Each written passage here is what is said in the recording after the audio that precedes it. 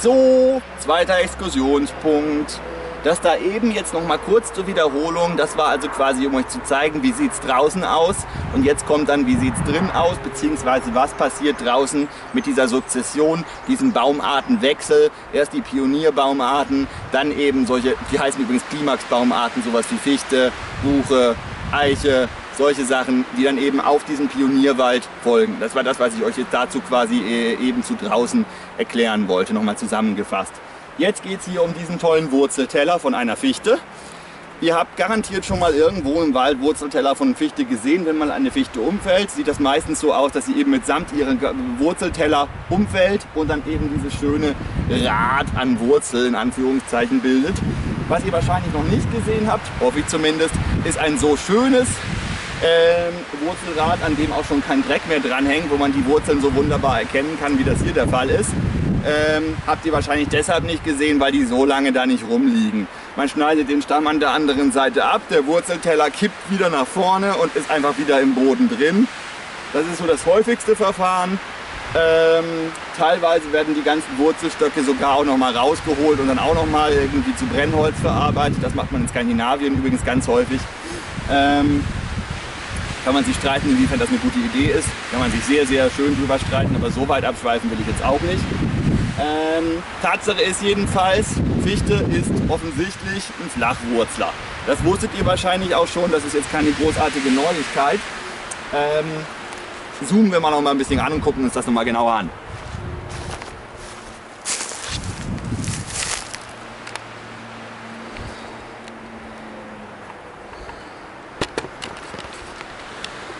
Ja, wie ihr hier schön erkennen könnt, die Wurzeln verlaufen alle so ein bisschen parallel zum Boden. Da gibt es kaum einen Wurzelansatz, der in die Tiefe geht. Hier ist zum Beispiel ein ganz kleiner. Ähm, dass das meiste ist tatsächlich eben parallel zur Erdoberfläche einfach quasi so ein flaches Gebilde, das dadurch, dass es einfach einen gewissen Durchmesser hat, ähm, sozusagen als flacher Ständer funktioniert, auf dem der Baum steht könnte man sagen. Hier ist mal auch wieder so ein bisschen ein Versuch, in die Tiefe reinzuwachsen gewesen, hat aber auch nicht großartig funktioniert offensichtlich, sonst wird der Baum hier auch noch stehen. Wobei man natürlich dazu sagen muss, bei den Windgeschwindigkeiten, die wir hier hatten, bleibt nichts stehen. Also auch wenn das jetzt eine Eiche gewesen wäre, hier oben, die wäre wahrscheinlich trotzdem umgefallen. Ja, jetzt mag man sich fragen, warum macht die Fichte das? Warum baut die bloß so einen relativ simplen, flachen Teller, ohne sich in der Tiefe zu verankern? Was, wie jeder, der auch nur so ansatzweise Ahnung von Physik hat, natürlich viel stabiler ist, kann man sich ja denken. Ähm, die macht das deswegen, weil sie einfach keine andere Wahl hat. Es ist nicht so, dass die Fichte das gerne tut. Die würde sich auch gerne weiter im Boden verankern, aber dafür fehlt ihr schlicht und ergreifend erstens die Wurzelenergie. So eine Fichtenwurzel hat nicht viel Kraft. Eine Eichenwurzel zum Beispiel, die kann sich durch das Gestein brechen.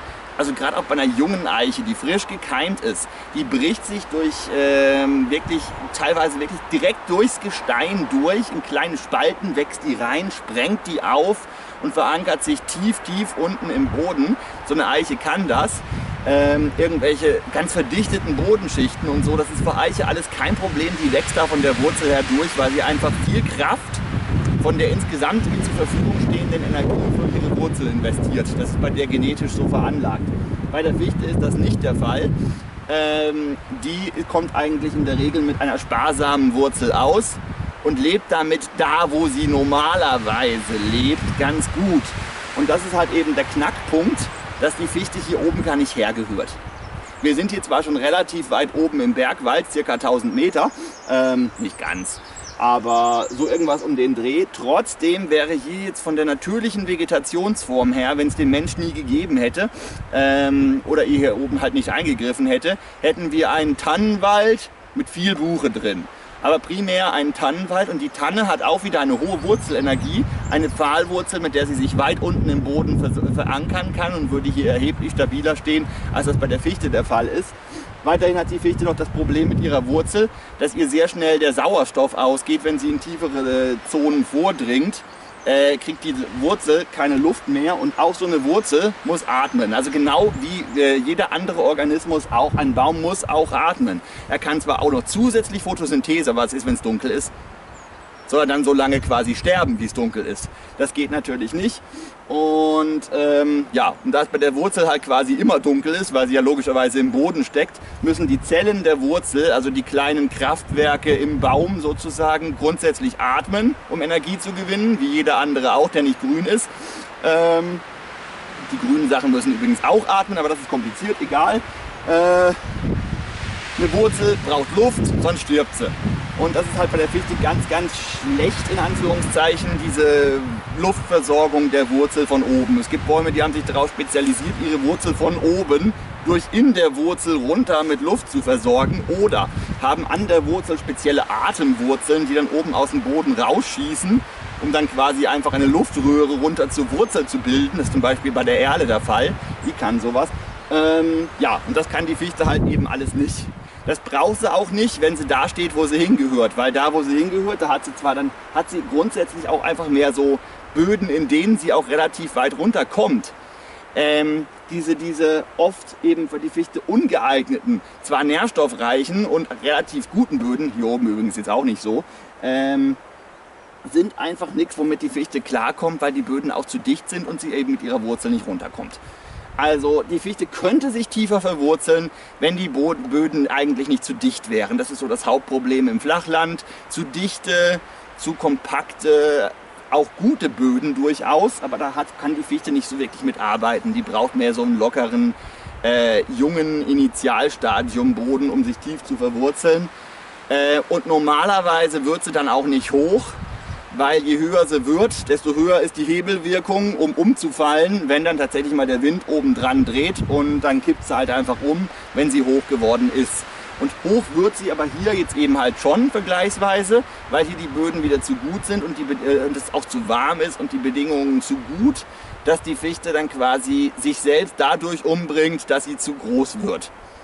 Da, wo sie normalerweise hingehört, beispielsweise in Sibirien, da wächst sie halt ganz klein und schmal und bleibt dann aber eben auch stehen und wird uralt, ohne vom Wind umgeworfen zu werden und das, obwohl in Sibirien entsprechende Stürme sind. Es kann also ganz offensichtlich auch funktionieren. Muss ja auch, sonst wäre die Fichte ja auch schon um, äh, ausgestorben, wenn die ständig am Umplumpsen wäre. Nur ist es halt eben so, dass sie bei uns eigentlich nicht hingehört und dadurch dieses Problem mit der Sturmsensibilität hat. Ist ansonsten ein toller Baum eigentlich. Ja, und dann ist noch die Sache mit dem Borkenkäfer. Und zu trocken wird sie jetzt auch. Aber im Prinzip ist es ein toller Baum.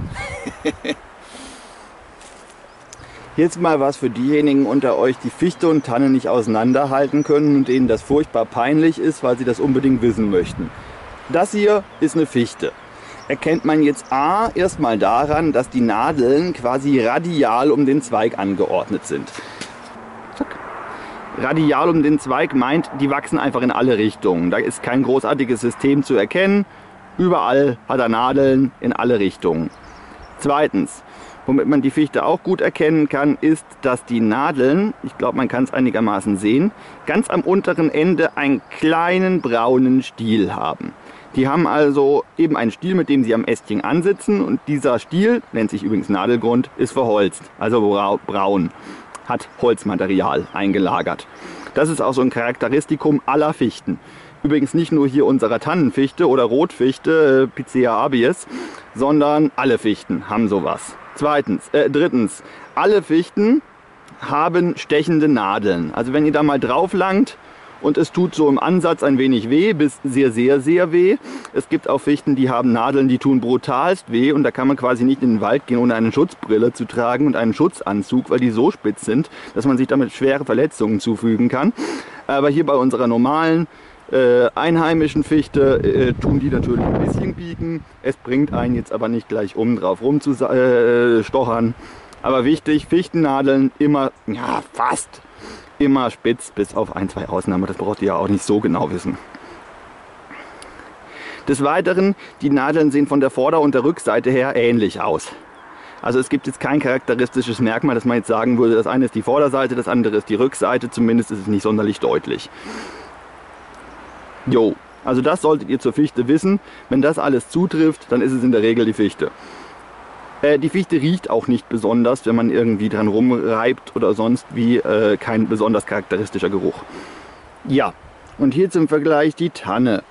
Die Tanne hat anders als die Fichte eben nicht radial um den Zweig angeordnete Nädelchen, wie man das eben bei der Fichte schön gesehen hat, sondern die sind gescheitelt. Soll heißen, die gehen in zwei Seiten, also nach links und nach rechts, nach oben und unten gehen relativ wenig Nadeln ab, bis gar keine. Also so ein, zwei gibt's immer, aber das ist dann die berühmte Ausnahme. Zweites wesentliches Merkmal bei der Tanne ist, sie hat keinen verholzten Nadelgrund, Stattdessen äh, ist der Nadelgrund grün und bildet direkt am Zweig, ich gucke mal, ob ich noch näher ranzoomen kann. Ja, kann ich, aber dann ist es unscharf.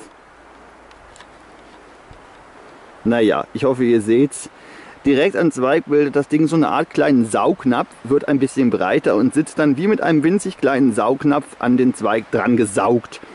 Eben am Zweigchen. Das ist auch bei allen Tannen so. Das ist ein charakteristisches Tannenmerkmal. Diese Tanne hier ist unsere normale Weißtanne, also die einheimische Tanne, die ihr am häufigsten antreffen werdet. So, wenn wir jetzt mal in so ein Zweigchen umdrehen, stellen wir fest, dass hier sehr wohl die Unterseite der Nadeln anders aussieht als die Nadeloberseite und diese zwei weißen Streifen mit einem kleinen grünen Streifen in der Mitte aufweist. Das sind sogenannte Stomata-Streifen. Ähm, das ist jetzt in diesem Fall hier eine Art Wachs, das einfach dafür da ist, dass die Nadel durch die Unterseite, durch die sie ähm, Gasaustausch betreibt, also sprich Luft aufnimmt und ein bisschen Wasserdampf abgibt, braucht es zur Photosynthese, das erkläre ich irgendwann auch nochmal. Ähm, diese Wachsstreifen sind einfach dafür da, dass dieser Gasaustausch nicht zu hoch wird, äh, der Baum nicht zu viel Wasser verliert und dann einfach austrocknet. Das ist also sozusagen ein Austrocknungsschutz. Das haben viele Bäume, haben das in irgendeiner Form. Manche haben es sichtbarer, manche weniger sichtbar und die Tanne ist definitiv eine der, eine der Bäume, die das sehr sichtbar haben. Ähm, das sind also Wachsstreifen, diese weißen Dinger. Das sind auch bei allen Tannen, jede Tanne hat auf der Rückseite in irgendeiner Form sichtbare Stomata-Streifen.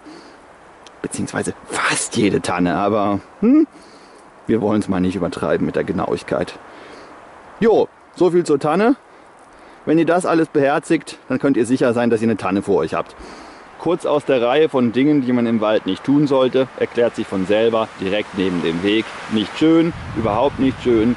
Ähm, und es ist der Natur auch nicht egal, weil alle solchen Nährstoffeinträge durch äh, nährstoffreiche Substanzen, und ja, das, was da hingekommen ist, ist eine nährstoffreiche Substanz, äh, führen dazu, dass hier einfach dann irgendwann Pflanzen aufkommen, die hier gar nicht hingehören. Und man hat quasi einen langen, langen, breiten Streifen, nämlich den Weg, der mit Nährstoffen total übersättigt ist und äh, das natürliche Nährstoffgleichgewicht eben in der Natur stört. Das heißt, es kommt hier irgendwas hin, was hier nicht hingehört. Und jetzt kann man sich natürlich streiten, ist das schlimm? Es ist in jedem Fall nicht schön und gehört hier nicht her. Insbesondere wenn man versucht, hier eine Art Urwald entstehen zu lassen, ist sowas echt kacke. Im wahrsten Sinne des Wortes. Und da drüben, na, wo haben wir es? Da gibt es auch noch mal sowas. Und das gibt es hier leider immer relativ häufig auf dem Weg. Es steht extra dran, dass man es nicht machen soll. Man kann ja mal für die eine Stunde, die man hier unterwegs ist, oder vielleicht zwei Stunden, sich einen Knoten reinmachen und mal die Blase stillhalten äh, oder alternativen Korken verwenden oder was auch immer, aber jedenfalls nicht in den Wald auf Naturschutzgebieten, in Naturschutzgebieten und insbesondere solchen speziellen Pfaden wie eben den Lotharpfad nicht in den Wald scheißen, danke. Hier könnt ihr auch noch mal den schönen Kontrast sehen, eben zwischen hier den Randbereich des Lotharpfades, wo es nicht aufgeräumt wurde, wie ja wohl ganz offensichtlich schön zu erkennen sein sollte.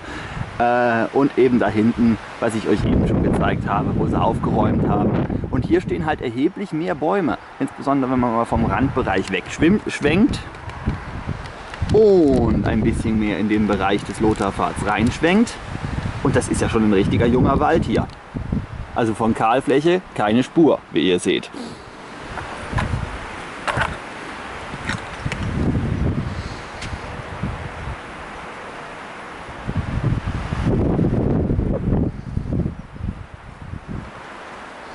Das Weiße, da ist ausnahmsweise kein Müll, sondern noch ein bisschen Restschnee.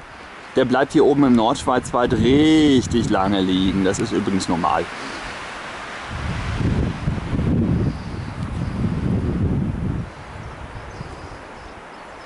Ein Zeichen für sehr starke Stürme ist, wenn man Bäume hat, die so aussehen. und dann relativ bald aufhören. Ähm, dass der jetzt so abgefressen ist, liegt einfach daran, dass er halt schon länger tot ist. Das wird jetzt der Borkenkäfer wahrscheinlich gewesen sein. Ähm, aber eben, diese da, dass sie da oben abbrechen, das ist halt total untypisch. Dafür muss wirklich eine Böe in hoher Höhe gekommen sein, die unglaublich stark war und den, anstatt den Baum hebelmäßig umzuwerfen, einfach die Spitze abgerissen hat. Das sind also so Sachen, die man wirklich nur bei ganz, ganz starken Stürmen findet. Gerade habe ich Borkenkäfer gesagt, was ihr da im Hintergrund seht. Diese komischen weichen, äh, weißen, toten Fichten, die sind auch äh, vom Käfer befallen worden, der ihnen einfach quasi äh, das Innenleben hier weggefressen hat, wodurch der Wassertransport äh, bzw. Nährstofftransport dann im Baum nicht mehr funktioniert. Das passiert quasi im Innenleben der Rinde, der Nährstofftransport nach unten. Äh, der Baum kann keine Nährstoffe mehr in der Wurzel einlagern. Die Wurzel stirbt dadurch ab, weil sie auch keinen Zucker Zucker mehr bekommt, den sie braucht, um einfach zu arbeiten. Natürlich braucht auch eine Pflanzenzelle irgendwie Nahrung, um irgendwas machen zu können. Und wenn die Wurzel erstmal abgestorben ist, stirbt alles andere auch ab. Sämtliche Nadeln fallen runter, irgendwann die ausgetrocknete Rinde fällt runter. Der Baum bleibt als Gerippe sozusagen auch stehen, weil das Holz an sich dadurch nicht betroffen ist.